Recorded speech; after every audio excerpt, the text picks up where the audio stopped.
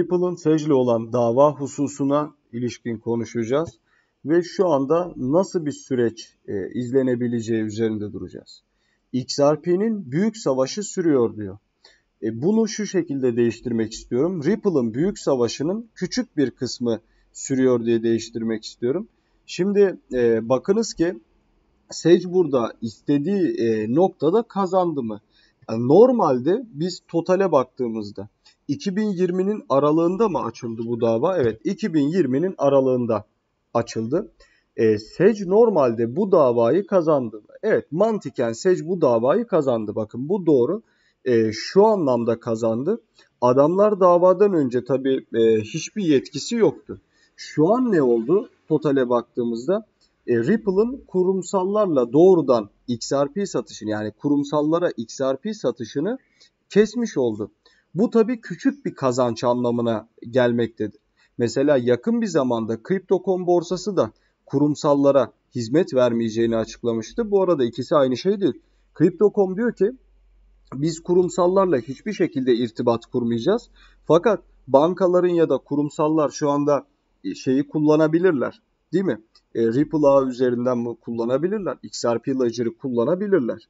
Fakat e, yüklü tutmalar vesaire ya da Ripple üzerinden ya da borsalar üzerinden alım satımını yapamazlar. Bu tabi ufak bir noktadır. Ne engel olur? Mesela bir tane e, tutar bir şirket der ki ben XRP yatırımı yapmak istiyorum. E, yapamaz yani.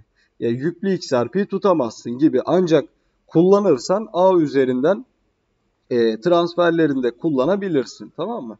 Bu e, Sage için yani evet küçük bir zaferdir. Ha, Ripple zafer kazandı diye adledildi ki aslında doğru olan da bu. Neden? Çünkü şu an çok açık bir şey görüyoruz biz ya. Bakın çok açık. Sage adamlar tuttu. Coinbase'i dava etti. Birkaç haftanın içerisinde Coinbase'e delist ettirdiler altcoin'leri. Coinbase'in ABD üzerindeki staking işlemlerini durdurttular. Aynı şeyi Kraken'e yaptılar birkaç haftanın içerisinde. Binance'a kafayı taktılar. Bu sefer ne yaptılar? Binance US'i adamlar şu an kapanmaya götürüyor. Binance US iflas edecek. O kadar e, dümdüz ettiler yani. Anlatabiliyor muyum? Açık söylemek gerekirse.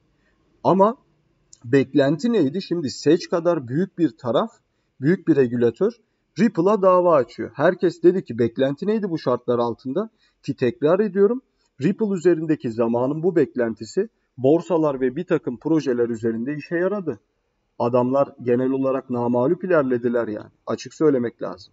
Beklenti de şuydu. Heh, XRP artık ABD'den paket olur. İşin doğrusu.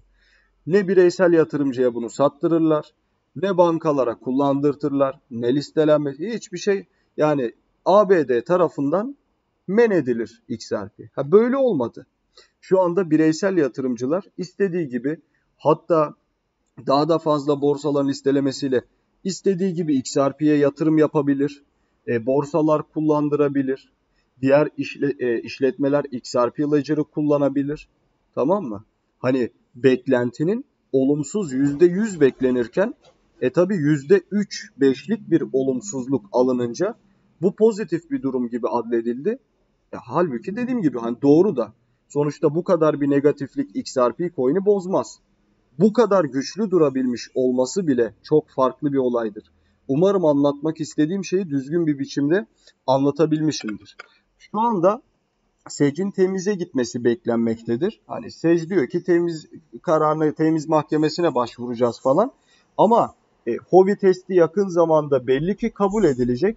E, Hovi testi kabul edilirse zaten Sec'in temizden pozitif karar alması da e, imkansız gibi duruyor. O yüzden biraz boş muhabbet. Dediğim gibi şimdi ne olur? 3-5 Ripple Sec'e şey verir. Bir para cezası öder. Bir de büyük şirketler vesaire XRP tutamazlar. Tabii dediğim gibi bu da negatifliktir ama XRP coin'i öyle uzun vadede çok bozacak bir durum değildir. Ee, yeni yasamalar geldikçe 2024'te hükümet vesaire değişince muhtemelen bu da kalkar. DivideX Türkiye'nin katkılarıyla hazırlanan DeFi DeFi'nin bu bölümünde diyor Doruk İşmen ve Turan Sert'le birlikte XRP davasını çözüme kavuşan ve kavuşmayan kısımlarıyla Polygon'un yeni versiyonu ile birlikte gelen yeni token ele alındı. XRP lehine mahkemeden çıkan karar varlığın değerinin önemli bir biçimde yükselmesini sağlarken kripto para sektöründe de sevince yol açtı diyor. Tabii ki doğru. Ripple ve Sage davasında sona geliniyor.